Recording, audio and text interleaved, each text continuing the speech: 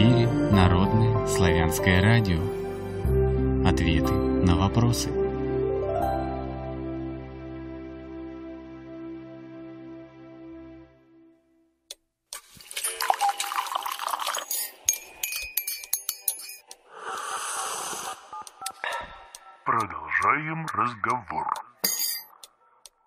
Продолжаем разговор на Народном славянском радио. Напоминаю, что сегодня по одному из современных календарей 12 июня 2018 года вторник, по одному из старинных 22 день месяца ветров 7526 лета. ДНК «Генеалогия против нормандской теории». Анатолий Алексеевич Клесов у нас в эфире. Первую часть, как всегда, очень интересно все рассказал в первой части. А теперь пришла очередь общаться с нашими радиослушателями и зрителями которые написали свои вопросы у нас на канале в Ютубе Славрадио в конце после слэш стоит и на нашем сайте slavradio.org. Итак, Максим Перепелица, реплика. Германские-скандинавские имена на Руси – это готские имена, которые были распространены до принятия христианства. Ну, допустим. А, и что дальше? Точка. Просто реплика.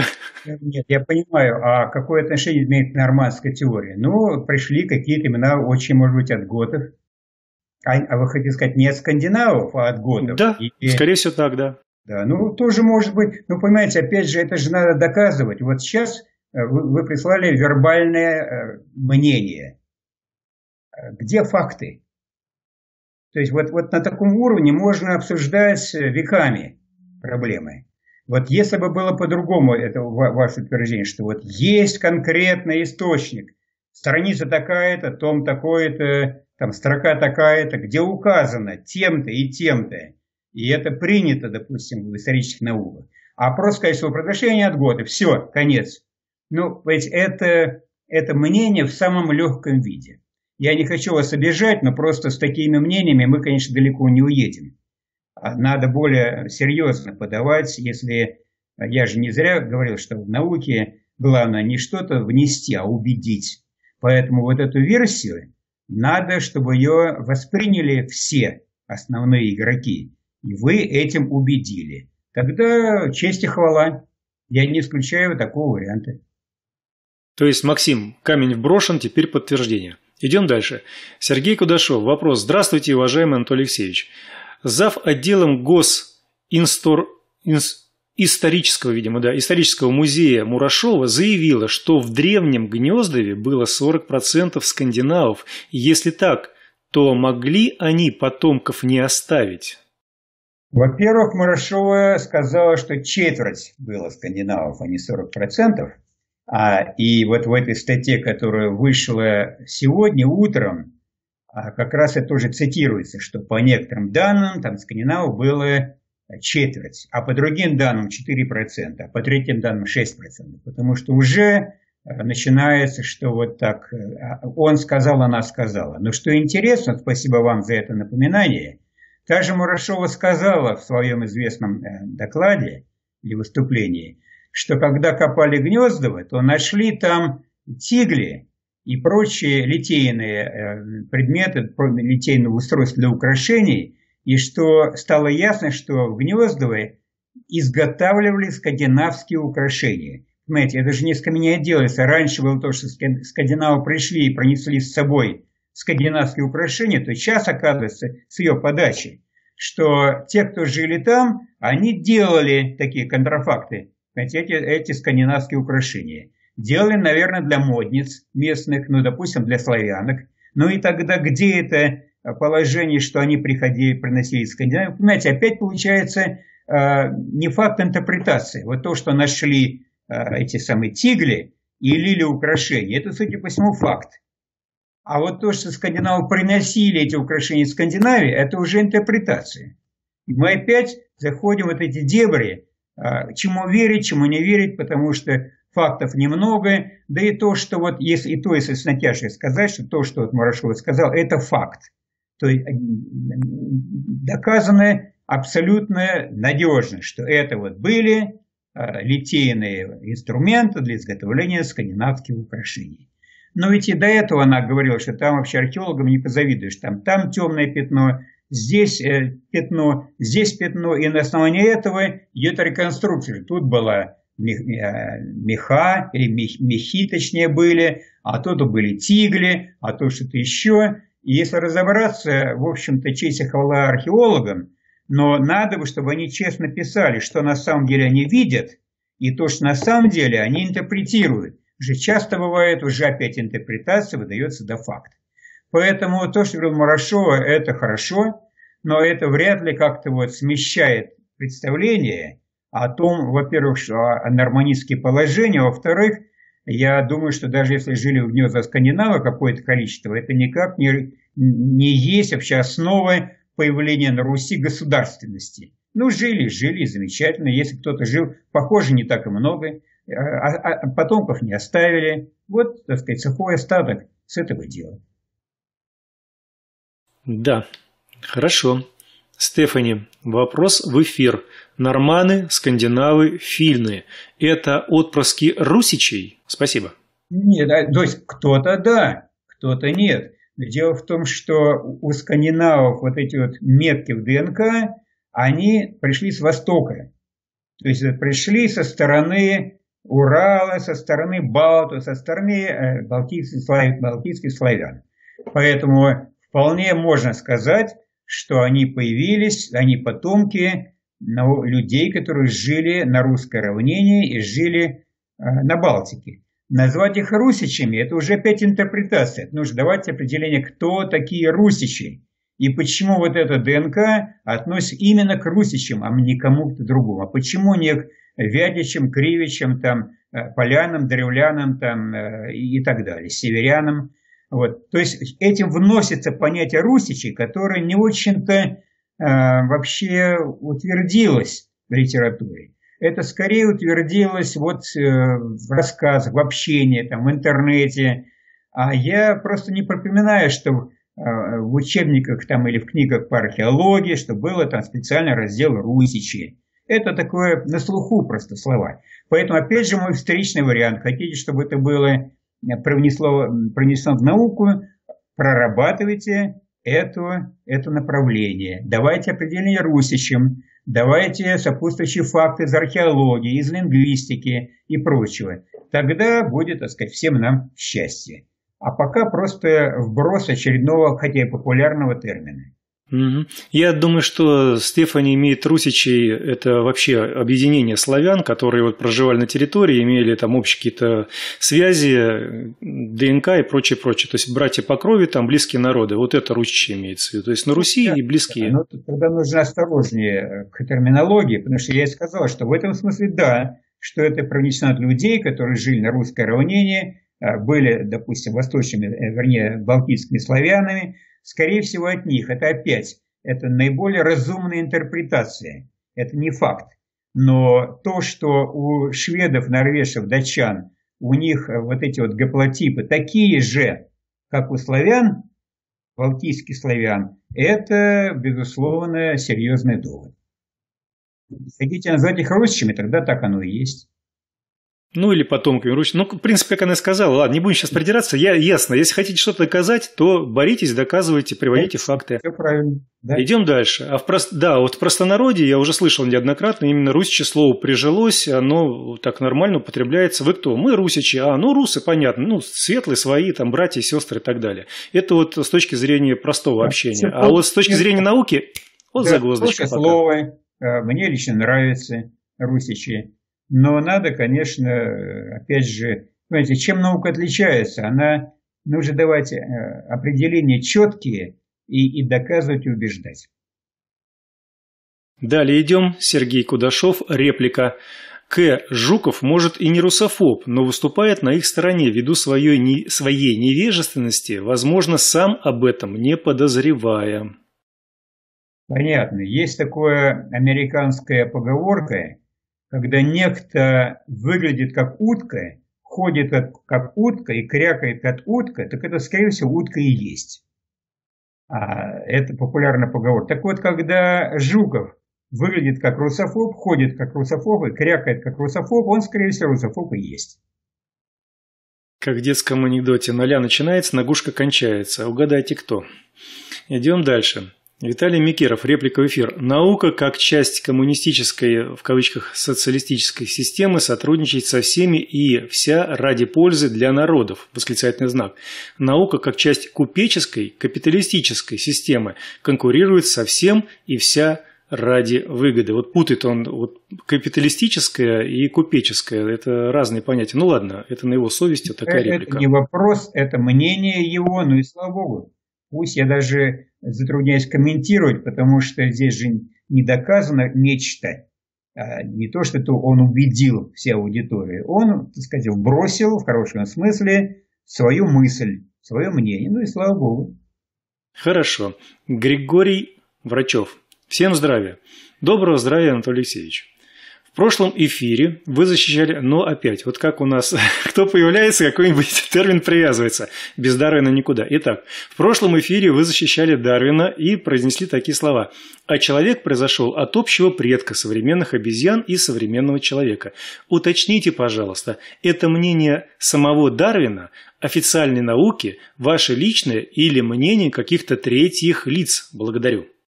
Я думаю, что Дарвин в моей защите не нуждается. Значит, уж я там защищал Дарвина. Это так звучит немножко смешно. А, дело в том, что Дарвин, он вообще про обезьян, э, происхождение человека от обезьяны не писал. Я упомянул о том, что это вот э, слова в наиболее явном виде Энгельса, Фридриха. Но и то Энгельс писал, что человек произошел от древних специальных, особых человекообразных обезьян. Так что я могу, конечно, ссылаться на Энгельса в этом отношении, но дело в том, что я дал и данные, которые, с которыми я сам работаю. А данные такие, что общий предок человека и шимпанзе жил примерно 5 миллионов лет назад. И от него пошла линия в сторону современных шимпанзе, который сейчас сидит в зоопарке, и линия в сторону современных людей, а, на всех с вами. Поэтому э, это не Дарвин сказал. Дарвин не знал, что это было 5 миллионов лет назад и про ДНК понятия не имел. Поэтому считайте, что это высказал я, беру на себя ответственность на основании множества данных, которые были получены независимо от меня. Я сделал их легкий синтез этих данных, но ничего особенно своего я туда не привнес. Хотя вот, когда я об этом рассказываю, многие люди шокированы, начинают возражение, что это на самом деле было божественное провидение, что э, там 5 миллионов лет назад вообще не было никакого человека, даже, даже 30 тысяч лет назад не было человека. Ни один священник сказал, что 30 э, тысяч лет назад даже солнца не было, оно еще было погасшее. Ну что я буду спорить? Поэтому у разных людей разные мнения. Но то, что человек произошел от общего предка с приматами, это, это факт хотя бы потому, что а, ДНК совпадает у шимпанзе и человека на 98%. Это означает, что это явно вот общий предок, и так примерно 5 миллионов лет назад и получается, если считать скорость реакции, что да, был общий предок, и не только шимпанзе, общий предок человека макаки, общий предок человека и орангутаны, общий предок человека и гориллы, общий предок человека и шимпанзе, и Homo erectus, и общий предок человека и неандертальцы, и так далее и тому подобное. И это ДНК это показывает. Дело в том, что, скажем, общий предок неандертальца, вернее, ДНК неандертальца, а такие уже геном изучили человека, весьма близкий. Человек от неандертальца не произошел, так же, как если взять ДНК вашего дяди и вас. Вы от дяди не произошли, а геном практически идентичный, потому что у дяди такой же, как у отца, он же брат отца, а у вас, как у отца, обязан быть. И поэтому родственники близкие имеют такое же, как у вас ДНК. Вот так же и с приматами. Все целые группы этих приматов и неандертальцы имеют очень близкий ДНК. Поэтому сомнений в том, что они все родственники, и у них были общие предки, быть просто не должно. И Дарвин здесь абсолютно ни при чем, его нечего его ругать. Он просто про это не знал в то время. Он разрабатывал э, происхождение видов, он разрабатывал вопрос эволюции. И за это ему нужно, конечно, ставить памятники везде, где это возможно. Великий ученый был. А вот почему произошли? То ли так просто матушка природа распорядилась, то ли это божественное, да, то ли это божественное проявление, то ли, нет, я просто, то ли это прилетели какие-то инопланетяне, что-то там с чем-то в пробилочках смешали, это уже другой вопрос. Главное, что вот это есть такой факт с точки зрения науки. А вот как это все произошло, вот это, как это говорится, тайна, покрытая мраком. Все давно известно. Вы знаете, что я сейчас дам простой пример, вы поймете, как это произошло. Все знают, что микробы в больнице, они быстро трансформируются. И они начинают тут же избегать лекарств. Лекарства на них уже не действуют. Неужели никто это не знает? Что почему и опасно в больнице находиться долгое время, если там инфекционные особенные болезни, потому что эти самые микробы, э, потому что у них быстро происходит э, появление новых микробов, и они э, трансформируются, становятся для, скажем, антибиотиков уже нечувствительными. Вот это и есть то, о чем Дарвин говорит. Это естественный отбор, потому что когда введешь новый антибиотик, начинают эти микробы тут же дохнуть, и те, кто по каким-то причинам прошла мутация у них, которая делает их нечувствительными. Они не издыхают, эти микробы, а дают потомство. Это потомство тоже нечувствительное и так далее и тому подобное. Быстро-быстро пошло потомство, пошла линия определенной ДНК, которая к антибиотикам нечувствительна. Вскоре этот антибиотик бесполезный, надо его заменять другим. Поэтому антибиотиков на синтезировано уже примерно 20 тысяч. И не потому, что хочется синтезировать, это нравится, а потому что деваться некуда. Вот, вот вам пример как образовался э, как эволюция шла. К примеру, вот те самые антибиотики и бактерии. Ничего если удивительного. И вы же не скажете, что это инопланетяне в клинике приземлились, и вот они быстренько эти микробов там подработали, чтобы они были нечувствительны. Это смешно. Но люди почему-то не думают, что эволюция вокруг нас сплошная.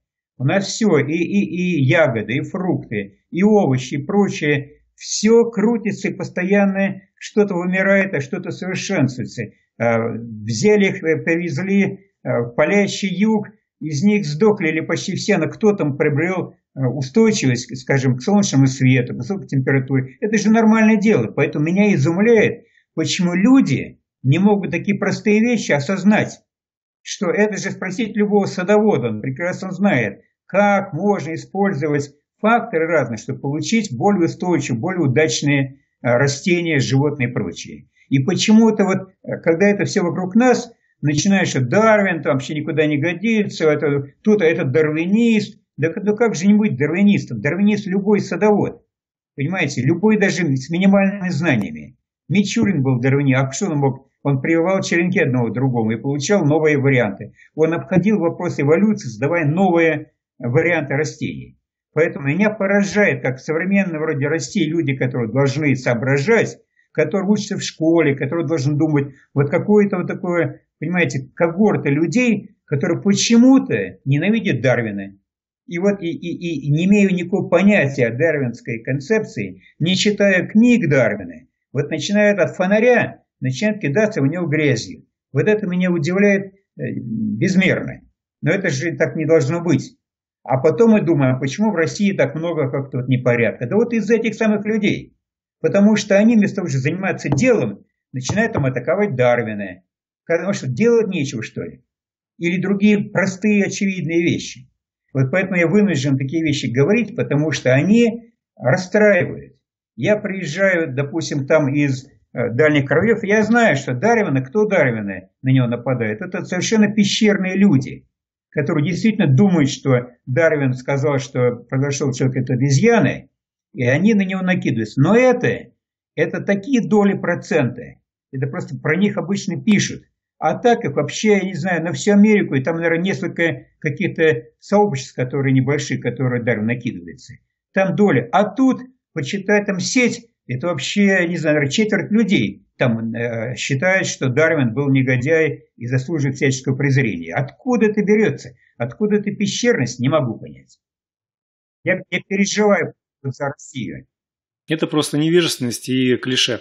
Я на самом деле очень уважаю Дарвина, его труд заслуживает внимания, хотя бы ознакомиться серьезно с ним, а не просто то, о чем кто-то рассказал. Взять книгу «Происхождение видов», почитать ее, почитать «Происхождение семи частных собственности государства». Раньше мы это учили, в университетах. Я не знаю, сейчас учит Энгельс или нет, но раньше мы читали, издавали «Капитал», раньше мы читали Энгельса на факультете биологических, безусловно, изучают Дарвина. Естественно, у Дарвина тоже есть масса вещей недоработанных. А где их нет?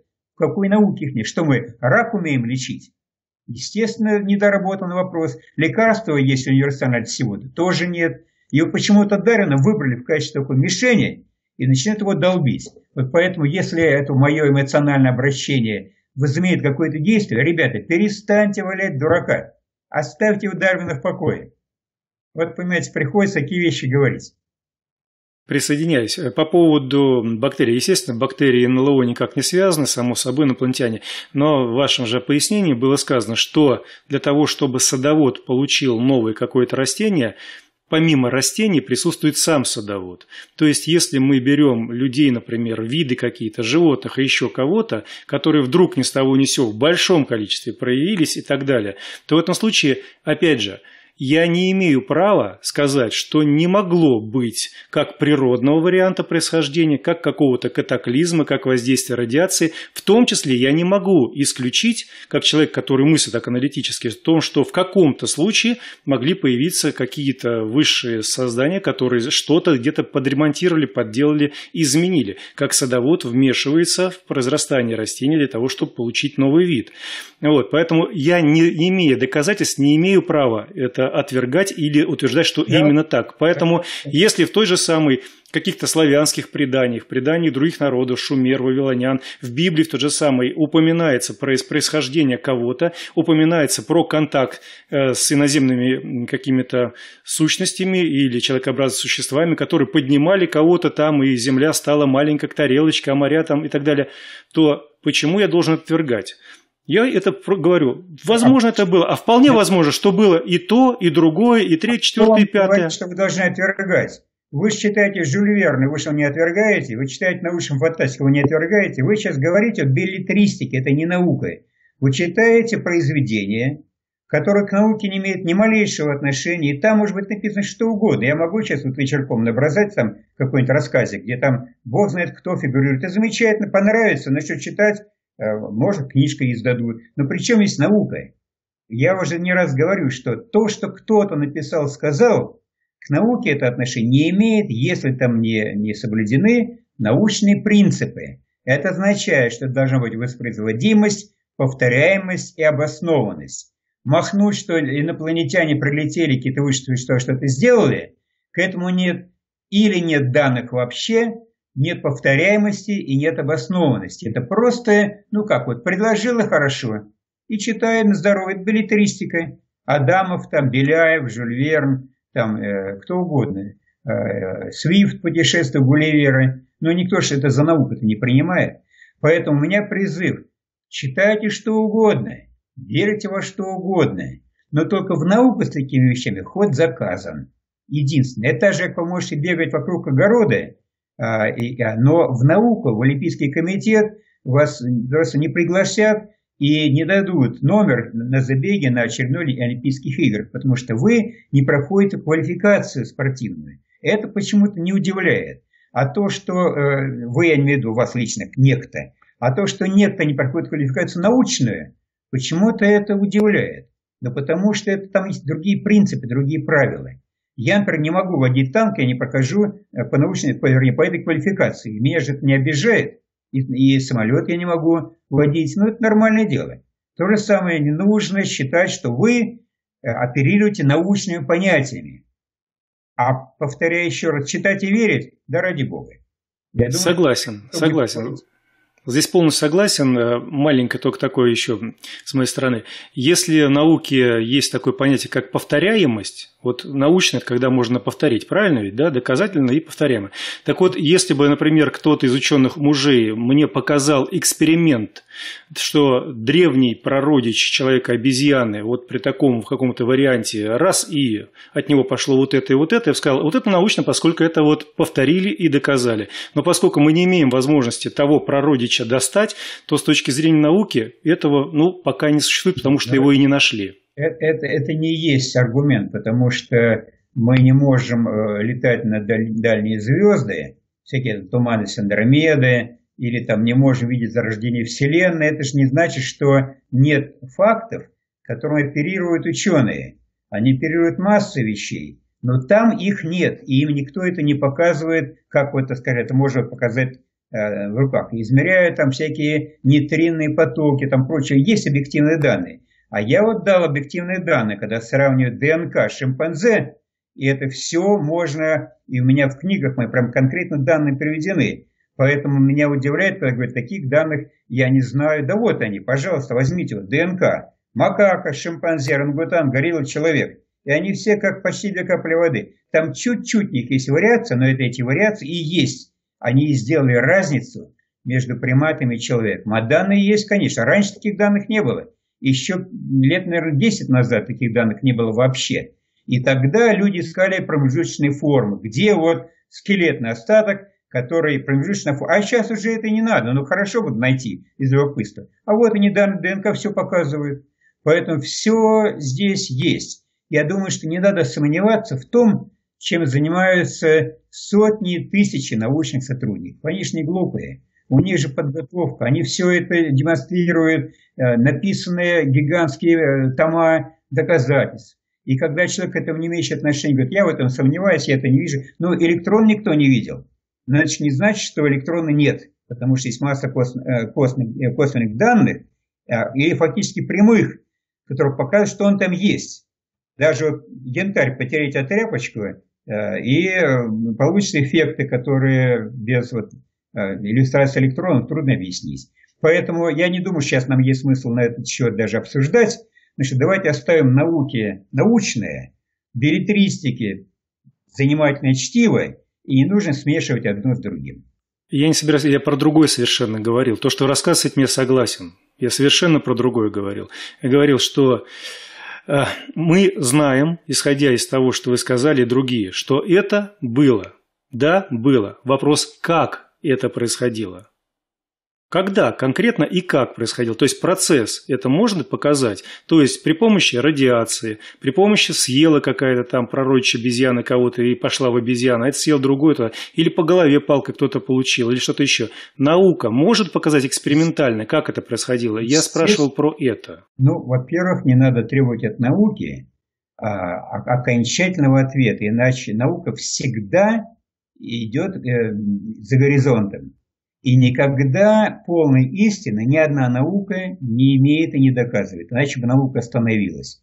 Всегда есть непонятные вещи. Чем науки движется страстью, объяснить, измерить, доказать это непонятное. Поэтому, повторяю опять, давайте мы оставим науку специалистам, потому что здесь сейчас об этом рассказывать в деталях, даже когда сравнивают, я объяснил, геномы есть известные человека, всех приматов – и эти геномы можно вот положить на стол буквально и, и сказать, вот разница, вот разница, вот разница. Вот есть 153 тысячи этих точек, которые отличают, допустим, там Y-хромосомы, шимпанзе там и человека. И, и, и, конечно, никто мне не скажет, какая из этих точек была первой, какая была за ней, какая была третья. Э, это даже глупо вообще требовать. Поэтому как произошло по стадийно это, ну, никто это не скажет. Это наука, может быть, через какое-то количество лет э, мы продвинемся много больше. Может быть, через 100-200 лет еще больше продвинемся. Но до конца никогда наука ни на один вот такой вопрос не ответит, потому что всегда, помните слова Ленина, электрон так же неисчерпаем, как и атом. Вы понимаете, он неисчерпаем, и никто с этим не спорит, потому что и, и доходит до кварков, там, до бозонов, а кварки тоже там составные, а у них ходят разные цвета кварков, у них ходит аромат кварков, любой физик это знает, теоретик. То есть идет уже все дальше и дальше, и конца этому нет. Поэтому не нужно требовать, чтобы просто вот взяли, по полочкам разложили, показали, что вопросов больше не осталось. Не будет такого. Так вот, я как раз то, что подтвердили, то, что я и хотел сказать. Исходя из этого, я не имею права отвергать то, да что наука не доказала. И здесь даже, даже не в билетристике. Я думаю, что шумеры билетристикой не занимались, и волоняне тоже, когда там предания их остались о том, как происходило. Здесь есть некоторые другие. Поэтому я говорю, что это есть, как и вы говорите, что это есть. А вот как это происходило, вот это большой вопрос науки. И до тех пор, пока наука не ответила, я говорю, не имею права отвергать ни это, кто, ни это, ни это. Кто от вас требует отвергать? Я же сказал, вы... Я просто примеряю... Я просто при... Вы придумываете то, чего наука не доказала. но вам никто не мешает это отвергать. Я не придумываю. Я в данном случае прекращаю спор. Я при... Мы сейчас занимаем у слушателей много времени. Я прекращаю споры, на Анатолий Алексеевич. На, я... на пустой вопрос. Потому Анатолий что Алексеевич, послушайте, вы... Что никто, вы уже который раз повторяете, никто вас не заставляет отвергать. Пишите самые фантастические рассказы, вводите туда инопланетян.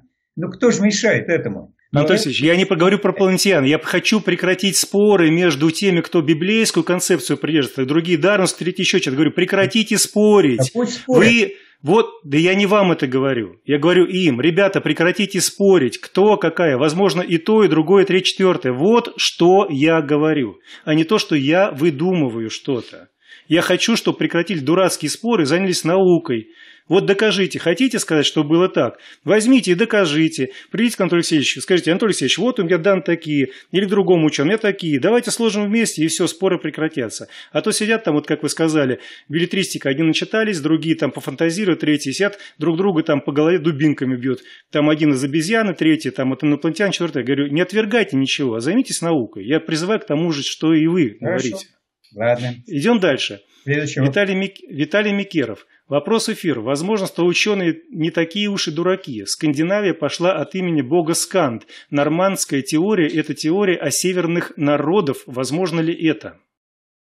Так, опять вы начали с мнения, что скандинавские народы пошли от бога Сканд. Дайте мне факты, что они пошли от бога Сканд. Это опять мнение. Мы все время крутимся вокруг неких мнений. И эти мнения подаются вроде как факт. Я об этом начал с самого начала. Один говорит от одного бога, другой от второго бога, третий от третьего. Но это же это ж тоже не наука.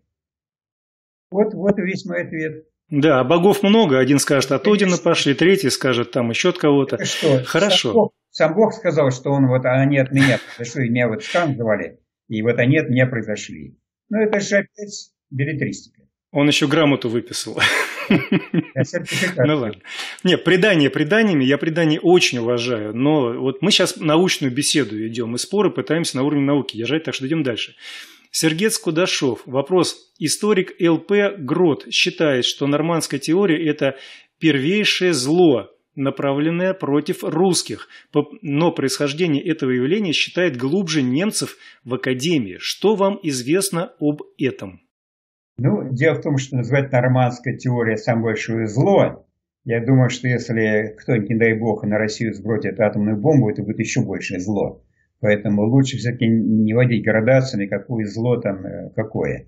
Дело в том, что я бы сказал по-другому. Нормандская теория – это э, блеф, который уже 300 лет промывает мозги людям. И это, конечно, зло, безусловное. А, и, и вот это э, люди, которые работают в академии, которые руководят лабораториями, которые ведут раскопки, и они либо отчет не отдают, либо у них просто такое мировоззрение, такое у них строение мозга. Вот ему хочется сказать, хочется доказать, что русские, они от скандинавов произошли, что скандинавы всем правили. И вот тут я только развожу руками, потому что это должно быть э, некое строение мозга, которые вот на это направлены. Я помню, я еще написал, когда первую книгу, я там цитировал, что и там а, э, пишет автор журнала, статьи в журнале Newsweek, он пишет, что вот то, что э, гаплотипы, они похожи на скандинавские, это по душе норманистам. Я написал, что ж такая душа у них интересная, у норманистов, что вот душа, кажется, радуется – когда они э, говорят, им или они, что произошли русские от скандинавов. Что за душа у них такая? Вот это ответ на вопрос э, русофобов. Не может душа радоваться, когда твой народ произошел от того, кого наши люди, войска, били неоднократно на протяжении большой истории. И опять и опять они хотят, чтобы мы от тех, кто били, э, происходили. Вот это, конечно, зло. Пусть не самое большое, но это я считаю, тут надо, чтобы занялись э, психиатры или, по меньшей мере, психотерапевты и поняли, почему душа радуется-то, откуда это. Миша Гемфель спрашивает, где узнать группу крови. Миша, в любой больнице, пожалуйста, подходите, сдавайте, вам там группу крови скажут. Идем дальше. Подсолнух, реплика в эфир. А наука вообще не задумывалась искать ответы на вопросы о происхождении русской культуры в самой русской культуре, в русском языке и в русском наследии? Конечно, наука не то что задумывалась. Есть целые институты культурологические, есть масса людей, изучается диссертации, изучается язык, корни языка, былины, э, сказки русские народные – а, этого масса. Просто они работают зачастую как-то внутри себя, и часто до народа это не доходит. Потому что очень немногие ученые, они выходят вот на прямой контакт, и просто им это рассказывают доходчивым, понятным языком. А потому что одни, как косноязычные, они понимают, что вот они ничего толком э, слова не свяжут вместе, другие просто к этому относятся пренебрежительно, ну подумаешь, там перед народом каким-то, понимаете, ходить там, э, им что-то рассказывать. Э, третий считает, что у них на это нет времени, а, а наука, конечно, идет. И нет такого вопроса, наверное, которым бы наука не занималась, если там хоть есть что-то, за что можно зацепиться. Вот такой мой ответ. Угу, благодарю. Сергей Хоменко, реплика в эфир. Радиоизотопная датировка, фальсификация, как и секвенирование ДНК, рецепт аминокислотного супа. Отдаю должное ученым-подвижникам, умудряющимся вылавливать из него что-то ценное. Но это, это уже, конечно, я бы так назвал это мракобесием, потому ну как это секвенирование есть фальсификация. Когда любой геном, когда секвенируют, когда тщательно изучают, то любая мутация имеет свой номер, свой индекс. Это все в каталогах зафиксировано. Это повторяемый и воспроизводимый. Вы прогоните, допустим, нашли какую-то последовательность ДНК, прогнали еще раз на приборе, на этом, либо на другом, и вы обязаны получить то же самое.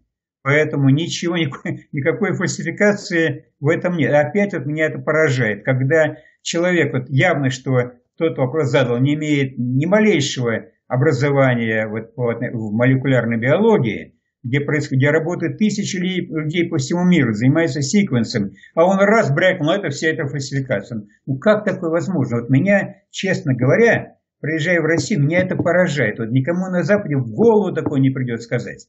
Потому что люди понимают свое место в науке. Они понимают, что их знания недостаточно вот так взять и махнуть.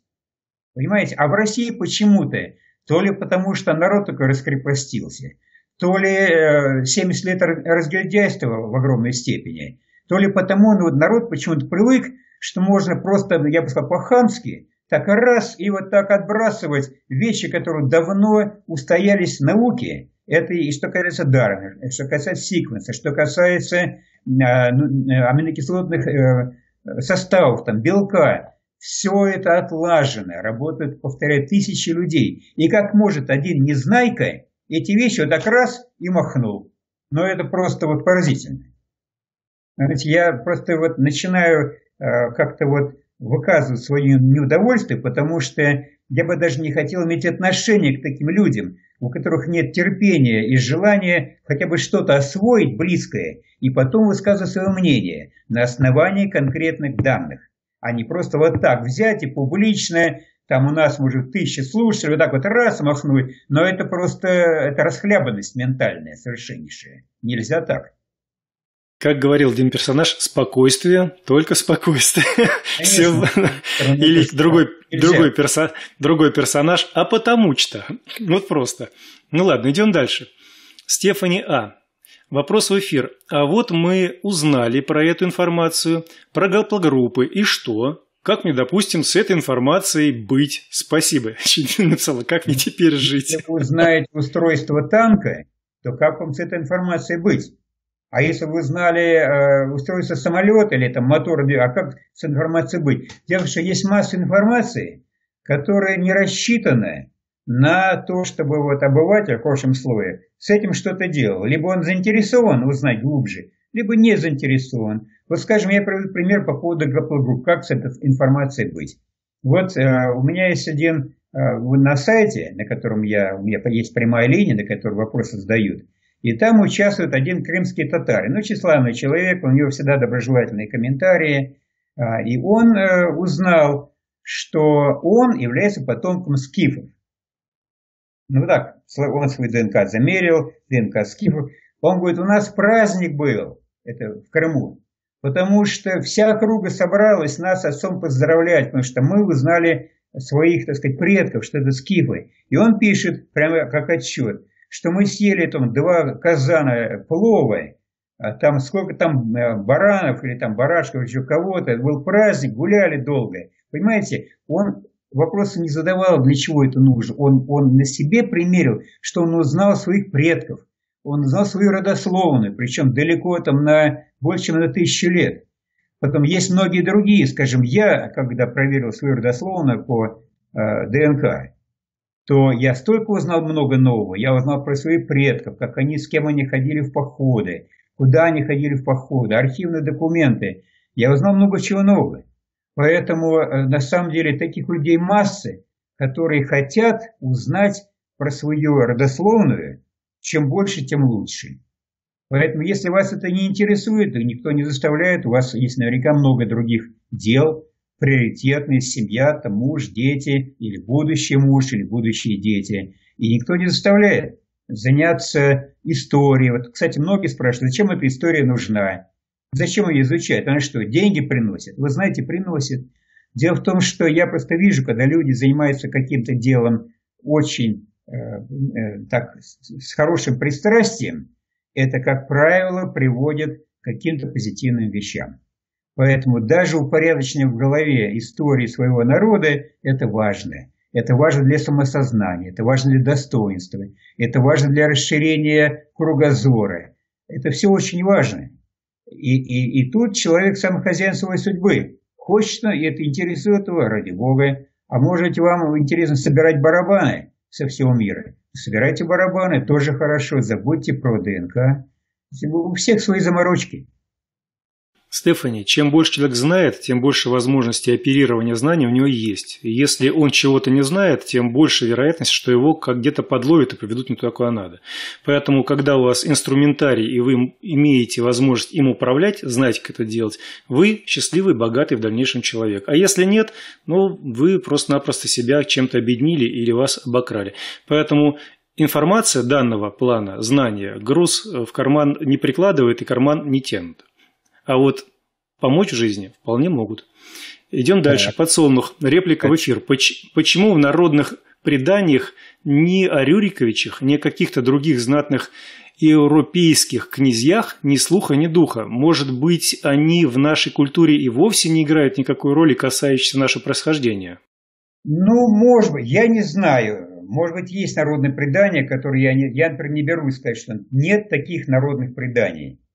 А, и для этого нужно знать материал. Поэтому я бы тоже не советовал, а, я бы вопрос задал по-другому. А вот вы знаете ли вы, ко мне обращаясь, народные предания, где там Рюрик упомянут? Вы же выбираете другой путь. Вы говорите, нет таких народных преданий.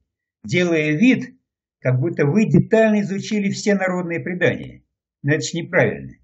Поэтому я бы еще раз советовал, когда вопросы задаются, надо задавать их все-таки не в виде постулата, что вы все знаете, а что вы интересуетесь, и вы хотите узнать, расширить ваши кругозор ваших знаний. Теперь, что касается Рюрика, ну, э, значит, есть, э, безусловно, есть повесть современных лет, лет где Рюрик упомянут. Если вы считаете, что летопись – это не народные предания, то как хотите. Есть Вересова книга, которая, но она Рюрика в прямом виде, в прямом виде не упоминает, но некоторые переводят что Эрик – это Рюрик. Но это на усмотрение переводя, э, переводчика. Но считайте, что велосипед тоже может быть народным преданием и так далее. Поэтому я бы посоветовал все-таки поискать народных преданий. Есть много сказок, а, где всякие королевичи, царевичи есть. Так что можно найти. Но, с другой стороны, я поддержу вас, что Рюрик вполне может быть легендарный персонаж, мифический. И реально Рюрика, возможно, и не было а был какой-то влиятельный воевода, а, которого так нарекли со временем там Рюриком, и поэтому те э, э, князья Российского народного вернее, дворянского собрания, они от какого-то воевода, который Рюрика, может, вовсе не звали. Так же, как евреи и арабы происходят, согласно Библии Торе, от Авраама, но никто не знает, а на самом деле его так звали.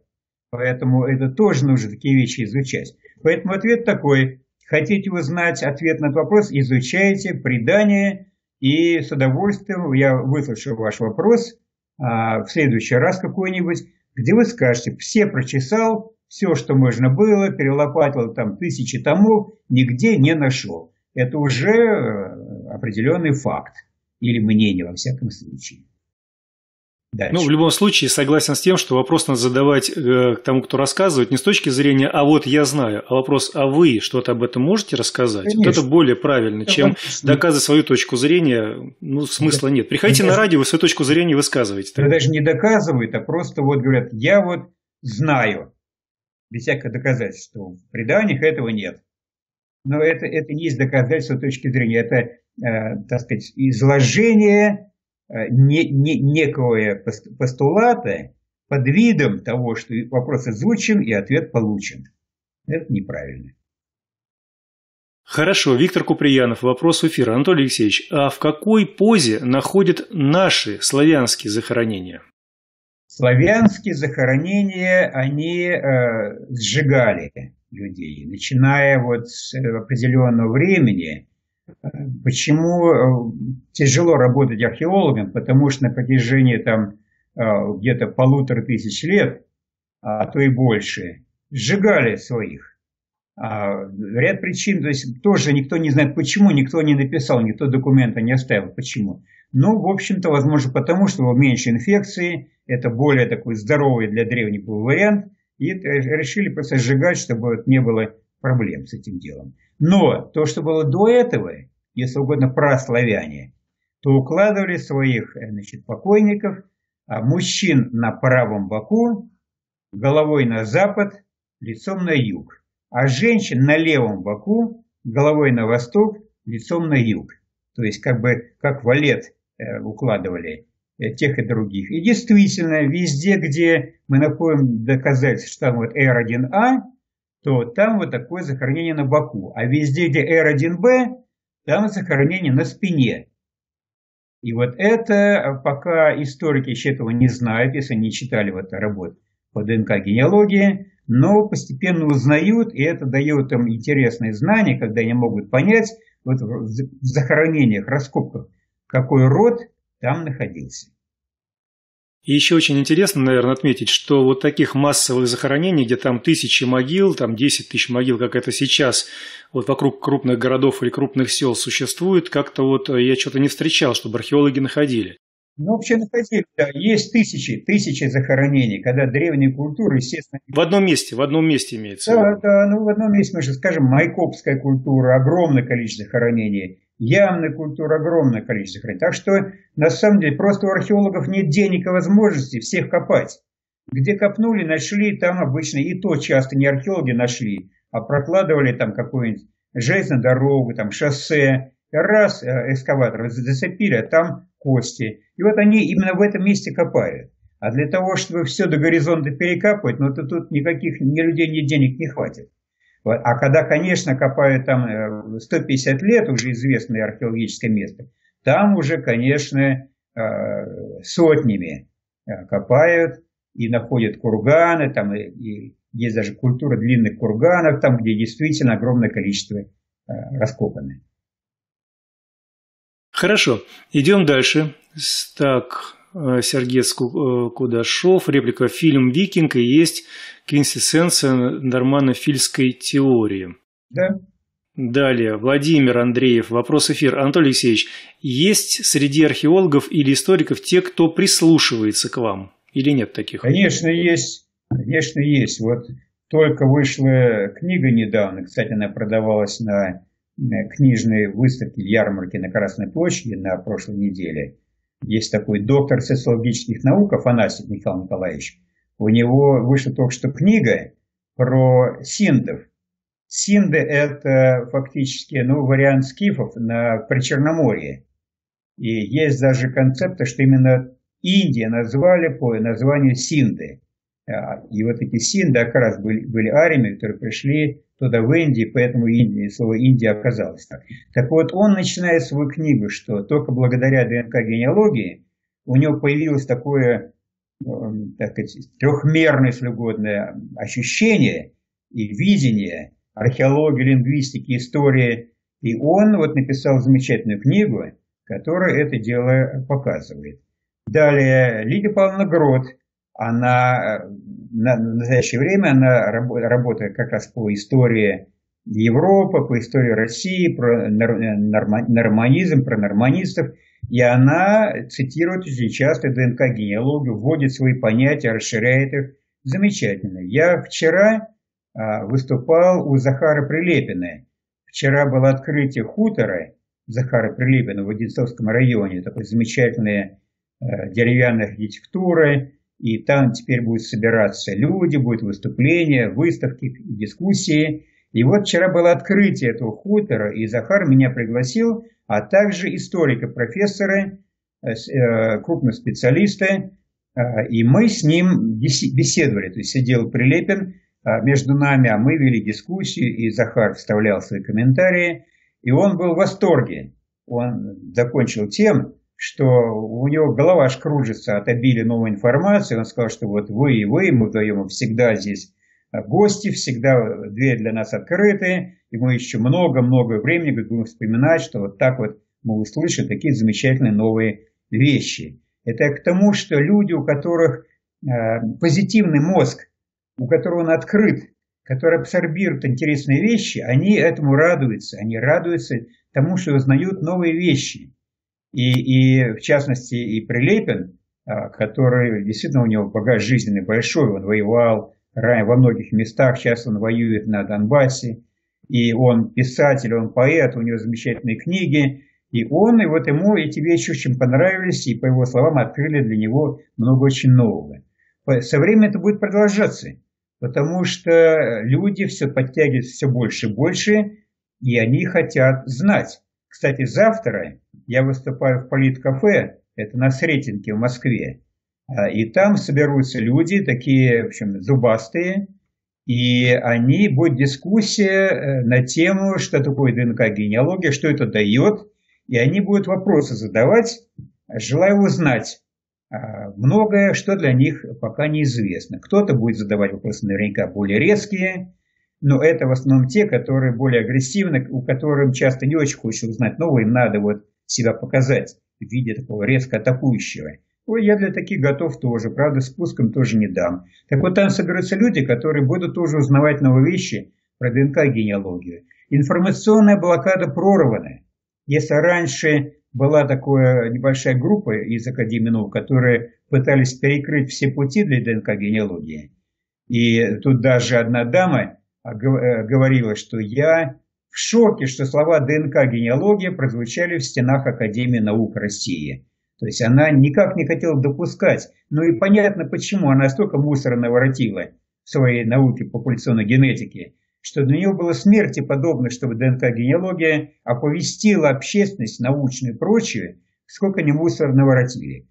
Поэтому э, были просто провокации, был сбор людей, были э, подметные письма подписанные, но это все прорвалось. И сейчас уже ролики по ДНК-генеалогии имеют миллионы просмотров. На рекордном месте сейчас 2,3 э, миллиона просмотров один ролик, есть один 800 тысяч, много роликов, сотни тысяч просмотров. Все. А, Но ну, я уж не говорю про 12 книг по ДНК-генеалогии, которые, которые изданы. Поэтому э, блокада информационно прорвана, вопросов нет, и надо над этим продолжать дальше работать. Вот это вот ролик который сейчас э, скоро выйдет уже для тех, кто не посмотрел, он служит тоже задачей объяснить людям, в чем э, принцип и какая методология, какие результаты ДНК-генеалогии. Да, рад тому, что мы помогаем продвигать это Конечно. важное направление. Конечно. Далее, дядя Вася. Реплика в эфир. Да, руководство телеканалов тоже получают директивы. Тут нет здоровой конкуренции, а идет навязывание. Это когда у нас разговор про слова был. Так, далее. Игорь Горин. Вопрос в эфир. Анатолий Алексеевич, живу на территории древнего славянского племени Кривичи. Есть ли мутационная линия, связывающая Кривичи с племенем Словени Новгородской земли? Читал, что словени произошли из территории Южной Балтики. Ну, это, понимаете, это пока неизвестно. Дело в том, что нет пока работ по ДНК-генеалогии, раскопок, вот как раз про Полянам, Древлянам, Кривичем, Вятичем, там, э, Северянам там, и так далее. А, нет пока таких работ. Ряд причин. Одна причина, потому что стараниями популяционных генетиков вот этот вот прорыв информационной блокады, он, для него потребовалось несколько лет. Потому что блокада пошла, на самом деле, всего лишь 4 года назад когда обложили просто вот э, источники информации, публикации, закрывали, запрещали. Сейчас этого уже нет. Но благодаря этому, я считаю, это было преступление со стороны популяционных генетиков, вот этих руководителей, преступление против науки. Оно было сродни тому, что в 50-х годах э, Лысенко и его, так сказать, лейтенанты, они сильно притормозили развитие генетики, кибернетики, э, теории резонанса в химии. И вот из-за этого прошло уже больше 50 лет, а это аукается.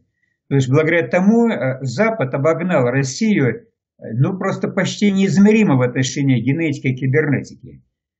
И, кстати, компьютерных дел, то же самый результат. И вот сейчас популяционные генетики идут по тому же пути. Вроде они, биологи, должны понимать, что нельзя так делать, это преступление. А они делают именно это самое. И поэтому вот как раз изучение древних остатков костных, оно притормозилось из-за этого противодействия. Но сейчас мы э, встали на свои силы, у нас есть лаборатория ДНК-генеалогии, уже началось изучение э, древних костей, только что завершили изучение ярославского дружинника, э, костей, к какой гаплогруппе он относится. Нашли прибалтов, это два, один из Калининградской области, Прус, тоже выяснили, кто он такой по происхождению. Один из э, таких свеев то же самое, поэтому идут. И скоро мы начнем, конечно же, э, извлекать костные остатки из тех э, древних славян, которых археологи обозначили как несомненно кривичи, несомненно вятичи, несомненно поляне, несомненно древляне. Там будет паспорт у каждого, иначе так выкопал, а кто такой, непонятно, какой смысл. Поэтому эта работа будет шириться, она будет продолжаться, и у нее перспективы, конечно, самые блестящие.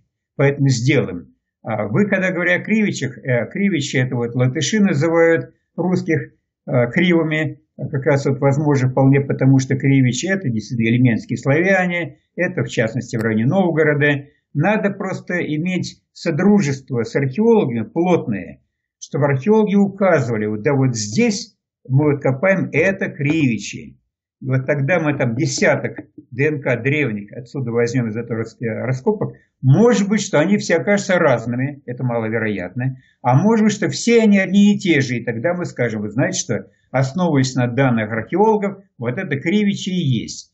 И этим мы получим вещи для всех древних славян и поймем, откуда они пришли, где у них э, исходные места миграции, куда они потом ушли, скажем, я вижу, что карпатские гаплогруппы и гаплотипы есть на Адриатике, а что они есть в Малой Азии, что они есть во Фракии и Иллирии. Это отрывочные данные, а надо, чтобы данные были систематические. И, думаю, пройдет лет несколько, у нас будет потрясающая картина, иллюстрации древней истории русского народа, славян, что более шире, чем русский народ, и многие другие сопутствующие гаплотипы гаплогруппы, включая Кавказ, включая э, татар, включая чувашей, там, башкир и так далее. И у нас будет действительно, картина будет меняться. И это подвигнет многих э, археологов и историков, которые притормозили, которые медлительны, которые э, боятся всего,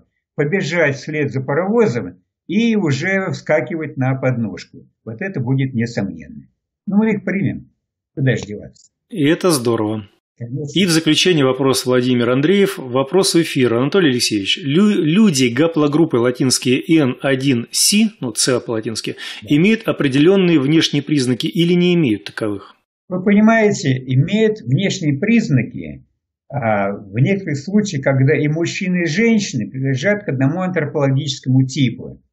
И тогда, когда муж и жена имеют один антропологический тип, то дети, как правило, имеют тот же тип. И когда это продолжается долгое время, когда группа, она более-менее на одном месте, и, и она не разбрасывается на другие типы антропологические, вот тогда вот эта гаплогруппа, ее можно увязать с данным антропологическим типом. И это бывает. Скажем, если пройтись по русским деревням, ну, вы увидите, что вряд ли там вы увидите каких-нибудь там американских индейцев, австралийских аборигенов, какие-то там монголы или монголоиды, или там еще кто-то. То есть э, тип, типаж, в общем-то, русский, он обычно ну, э, определенной формы. Э, волосы светлые, э, брюнетов не так много относительно. Это и форма носа, форма шеи, и глаза голубые. Поэтому, в общем-то, если пройтись по деревням, то тип, в общем, похож. Правда, если бы это делать еще лет 100-200 назад, он бы еще более похож. Сейчас, конечно, размылось много. Так вот, N1A1 – это люди, которые пришли из далеких краев, они прошлись с Алтая а, и даже южнее, прошлись по Сибири, переправились через э, Урал, перешли на русскую равнину, и многие сохраняли свой тип. Но с другой стороны, смотрите, N1A1 это и якуты. Ну а где вы видите особо якутский тип? На особенно много на русской равнине среди русских. Нет, а потому что они там и остались. Якуты не пошли этим путем, а, а другие пошли. Вы видите тип другой антропологический, несколько у Пушкина, который метис, он негроидный, потому что через э, своих э, маму и бабушку он получал от Ганнибалы. Поэтому женщины делают вклад решающий, или хотя бы 50% примерно, в антропологический тип. Женщина монголоидная, дети будут тоже э, монголоидные, а дальше больше. Женщина европеоидная будет европеоидной. Женщина негритянская э, пойдут дети негритянские. Поэтому вопрос в целом решения не имеет. Надо смотреть, кто привносит свои гены изучать вот таким образом вопрос.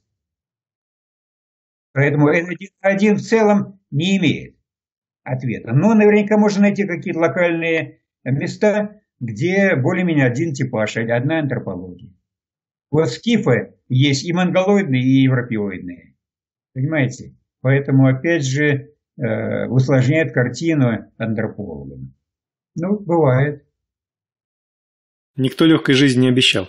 Ну что ж, все вопросы зачитаны, реплики тоже, и нам остается как-то красиво попрощаться с нашими радиослушателями, подведя жирную черту под всем сказанным. Пожалуйста, Анатолий Алексеевич.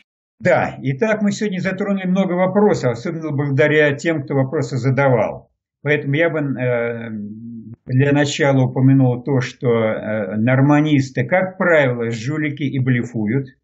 А фактов у них, как правило, нет – они интерпретацию выдают за факты. И вот в этом большая проблема. Это продолжается почти 300 лет, но ситуация начинает выправляться. Если еще лет 10 назад мы даже понятия не имели, что появится наука, которая позволит ставить прямые эксперименты. Но кто раньше мог подумать, что, э, что э, то, что русские не являются потомками скандинавов, это можно напрямую показать.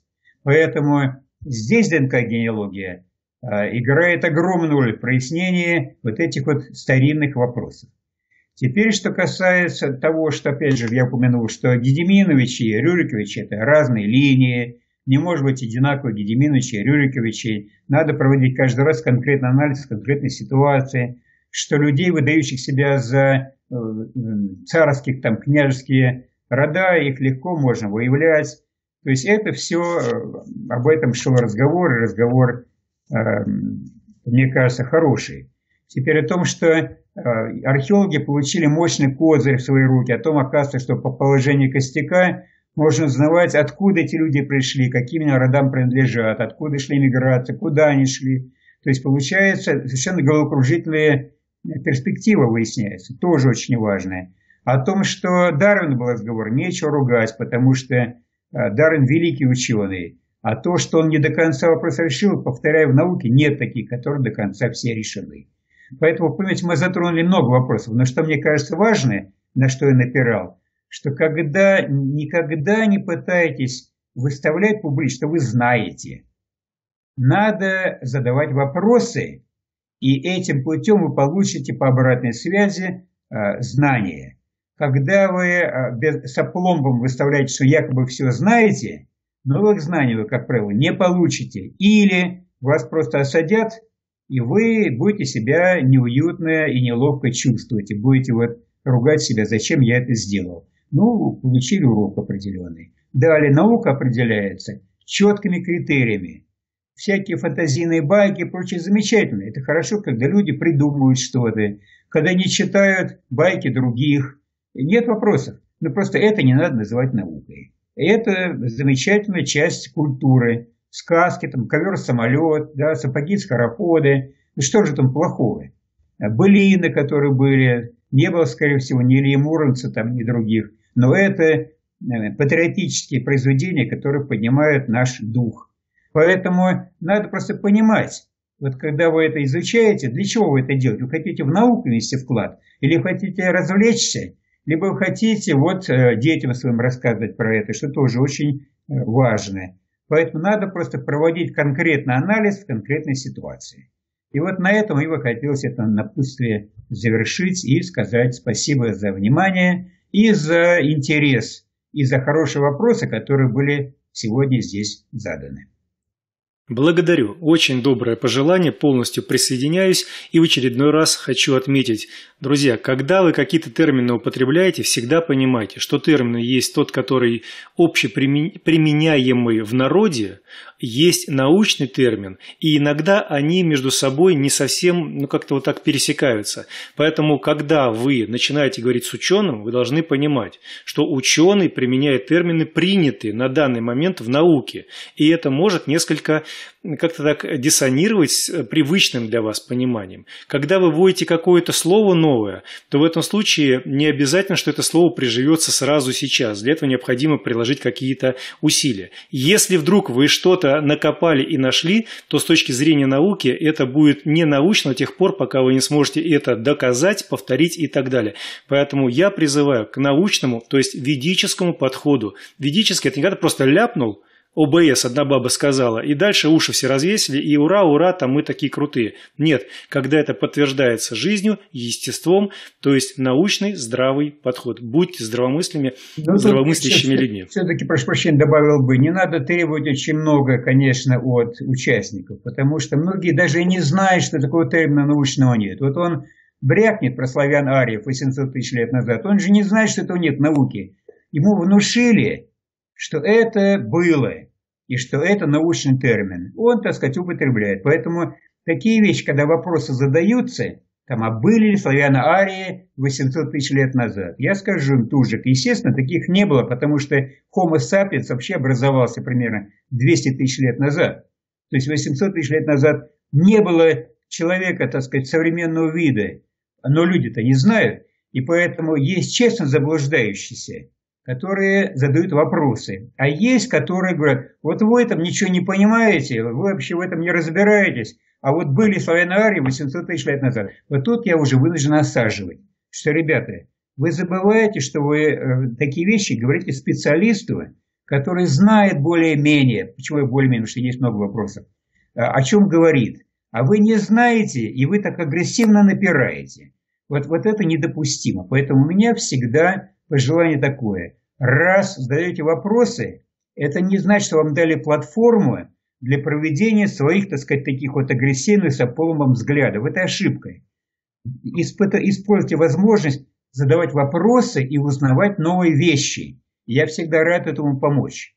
А не тому, когда вот, э, понимаете, начинают, пытаются меня осадить из э, аудитории. Вот такие вещи не проходят. А вот я бы этому хотел все-таки несколько более бережно отнестись к тому, когда люди спрашивают, но не знают, что это не научное понятие. Это уже дальше моя функция это разъяснить. А так, замечательно было много хороших вопросов, мне понравилось. Спасибо за внимание. Благодарю за уточнение. Да, так что имейте вот это в виду все. И когда вы говорите с кем-то на языке, принятом в вашем круге, это одно. Когда вы переходите на научный разговор, то будьте любезны тогда э, употреблять уже научные термины или хотя бы попросить, чтобы вам пояснили, что это означает. Тогда вы друг друга будете понимать. А понимание, оно делает нашу жизнь и наш мир лучше. Вот я всем желаю здравия, понимания и уважения друг к другу. Перестаньте спорить на пустом, а давайте-ка начнем разбираться совместно с э, разными вопросами. Нашли какое-то доказательство?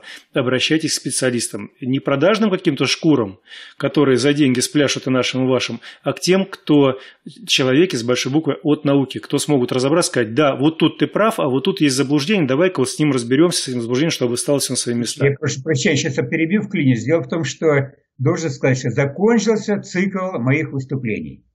Сегодня было последнее из серии, по-моему, там 8 или что-то в таком духе выступлений, и там было заявлено по меньшей мере 30 тем для обсуждения. Вот сегодня они закончились. Поэтому, когда мы еще раз встретимся, не знаю. Это нужно выяснять с нашим ведущим. Поэтому я предлагаю, если у кого есть вопросы, вот какие темы хотелось бы осветить, пишите ему, обсуждайте э, в комментариях к ролику, который появится. И если эта тематика будет интересной и получит одобрение, то я с удовольствием продолжу эти выступления. А так, на сегодня пока все. Спасибо за внимание. Да, вот именно это я хотел сказать в конце, что ждем ваших вопросов, потому что задуманный цикл, мне кажется, успешно закончен. Низкий поклон Анатолию Алексеевичу, да и нашим слушателям и зрителям за то, что поддержали его, и такие интересные беседы порой с пылом жаром получились. И жду от вас новых в редакцию писем с предложениями по новым темам. Дальше скомпонуем, и Анатолию Алексеевичу эти предложения подадим, и уже э, где-нибудь, наверное, ну, когда там решим, может быть, в августе, может, в сентябре, видно будет, продолжим уже новые серию новых эфиров, если, опять же, это будут научные эфиры, а не просто так, а вот нам кто-то где-то сказал. Вот АБС в данном случае здесь не проходит. Ну что ж, на сим я с вами прощаюсь. Мне остается только напомнить, что сегодня по одному из современных календарей 12 июня 2018 года, вторник, по одному из старин, 22 день месяца ветров 7526 лета, ДНК «Генеалогия против нормандской теории», так назывался наш сегодняшний живой эфир. Анатолий Алексеевич Клесов – очень красиво сделал доклад, очень убедительно приводил факты и вообще разгромные некоторые доводы. А я, как ведущий Алексей Орлов, прощаюсь с вами. Желаю всем добра. До новых встреч, друзья мои. Пишите. Будем делать мир лучше. Быть добру. Увидимся и услышимся. До свидания.